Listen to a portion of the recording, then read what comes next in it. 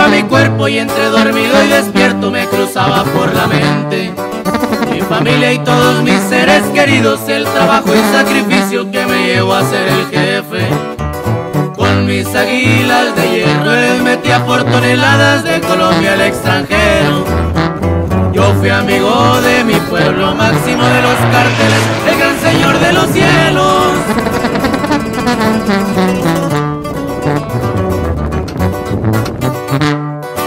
Hice trato con los verdaderos socios, me hice narcotraficante, jefe del cartel de Juárez. Hice rutas por donde corriera el aire, también trafiqué a lo grande en aviones comerciales. Todo un capó sinaloense metía cuatro o cinco veces mucho más polvo que otros. No se movía un solo gramo sin haberme consultado, nadie se mandaba solo. Fusión de marihuana y cocaína en los Estados Unidos.